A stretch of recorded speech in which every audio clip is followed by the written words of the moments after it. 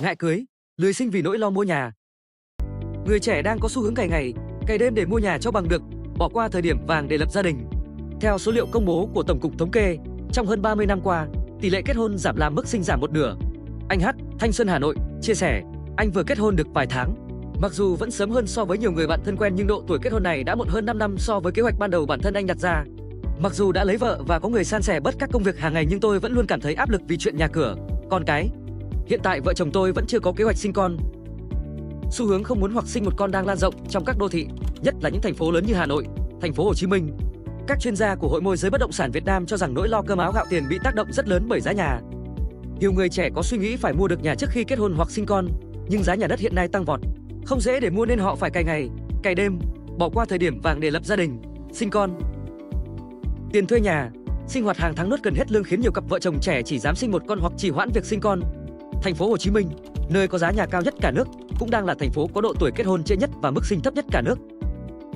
Giai đoạn 2016 đến 2018, giá nhà tại thành phố Hồ Chí Minh liên tục lập đỉnh mới. Cũng trong khoảng thời gian này, thành phố Hồ Chí Minh là nơi có chỉ số giá sinh hoạt theo không gian dẫn đầu cả nước. Từ năm 2019, trong khi giá nhà thành phố Hồ Chí Minh tăng trưởng chậm lại thì giá nhà Hà Nội lại liên tục tăng cao.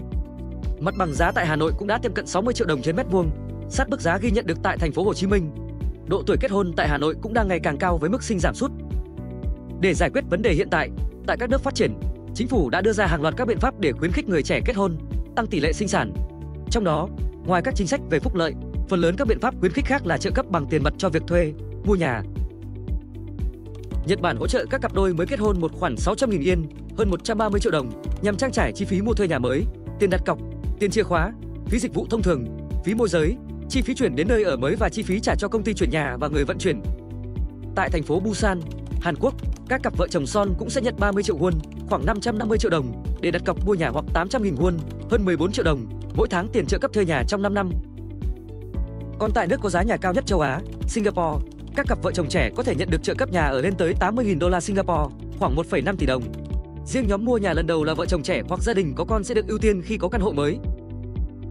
Bất chấp những nỗ lực đó, tỷ lệ kết hôn và sinh con ở các quốc gia nói trên vẫn cải thiện rất chậm.